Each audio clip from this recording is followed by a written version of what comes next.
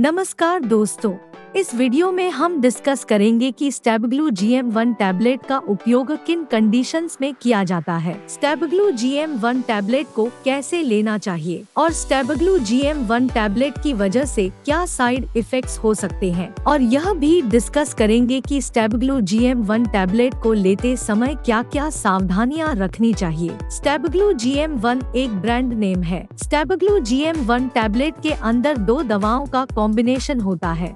स्टेबग्लू GM one tablet के अंदर salt composition glimepiride और मेटफोर्मिन होता है। जब किसी व्यक्ति का ब्लड शुगर लेवल किसी एक दवा से नियंत्रण में न हो रहा हो, तब डॉक्टर दो दवाओं के कॉम्बिनेशन वाली Stabglu G M one tablet को लेने की सलाह दे सकता है। स्टेबग्लू जीएम वन टैबलेट का उपयोग टाइप टू डायबिटीज़ में ब्लड शुगर के लेवल को नियंत्रण में करने के लिए किया जाता है। स्टेबग्लू जीएम वन टैबलेट शरीर में ब्लड शुगर के लेवल को कम करती है। शरीर में शुगर के लेवल को नियंत्रण में रखना बहुत ही ज़रूरी होता है, क्योंकि लंबे समय तक शुगर लेवल ज़्यादा रहने की वजह से किडनी डैमेज हो सकती है। आँखों की देखने की दृष्टि कम हो सकती है और शरीर की नसें डैमेज हो सकती है। इसलिए शरीर में शुगर के लेवल को नियंत्रण में रखना बहुत ही ज़रूरी होता है। खाना खाने के दो घंटे बाद एक नॉर्मल व्यक्ति का ब्लड शुगर लेवल 140 से कम होता है। खाना खाने के दो घंटे बाद यदि किसी व्यक्ति का ब्लड शुगर लेवल 140 से लेकर 200 के बीच में है तो वह व्यक्ति परी डायबिटिक स्टेज पर है।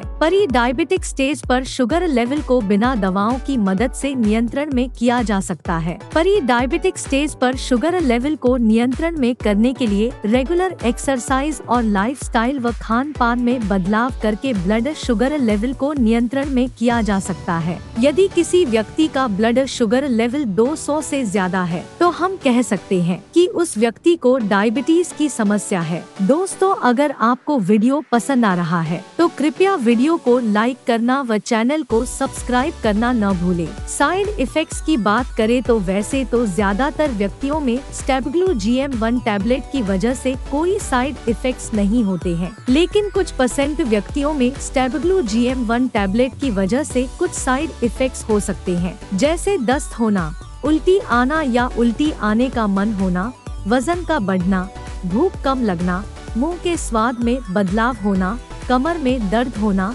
पेट में दर्द होना और सिर दर्द होना आदि side effect Stabglu G M one tablet की वजह से हो सकते हैं। इसके अलावा Stabglu G M one tablet की वजह से शरीर का ब्लड शुगर लेवल बहुत ज़्यादा कम भी हो सकता है। अब हम डिस्कस करेंगे कि Stabglu G M one tablet को कैसे लेना रिकमेंडेड होता है। Stabglu G M one tablet को सुबह ब्रेकफास्ट के समय खाना खाते समय बीच में लेना रिकमेंडेड होता है। या Stabglu G M one tablet को खाना शुरू करने से तुरंत पहले लेना रिकमेंडेड होता है। आमतौर पर 18 साल से अधिक उम्र के ज़्यादातर व्यक्तियों को डॉक्टर शुरुआत में Stabglu G M one tablet को दिन में एक बार और सुबह के समय लेने की सलाह देते हैं। Stabglu G M one tablet को हर रोज एक निर्धारित समय पर लेना चाहिए। Stabglu G M one tablet की डोज उम्र, शरीर के वज़न और शरीर में ब्लड शुगर के लेवल की गंभीरता के आधार पर सभी व्यक्तियों में अलग अलग हो सकती है। इसलिए आपको स्टेबग्लू जीएम वन टेबलेट को आपके डॉक्टर द्वारा बताई गई डोज में ही लेना चाहिए। अब हम डिस्कस करेंगे कि स्टेबग्लू जीएम वन टेबलेट को लेते समय क्या क्या सावधानियाँ रखनी चाहिए। शुगर को अच्छी तरह से नियंत्रण में करने के लिए आपको स्टेबग्लू जीएम वन टेबलेट के साथ साथ रेगुलर एक्सरसाइज करनी चाहिए। चिंता व तनाव से बचना चाहिए।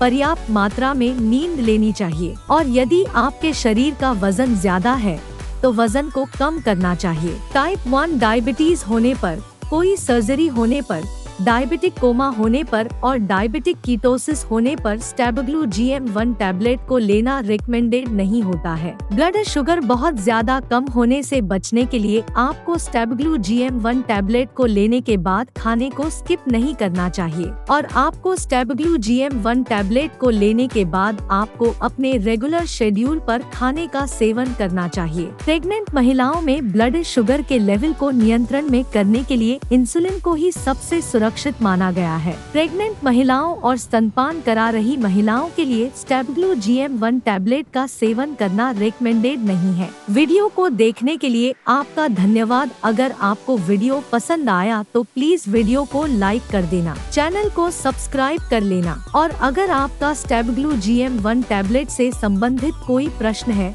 तो आप कमेंट करके पूछ सकते हैं।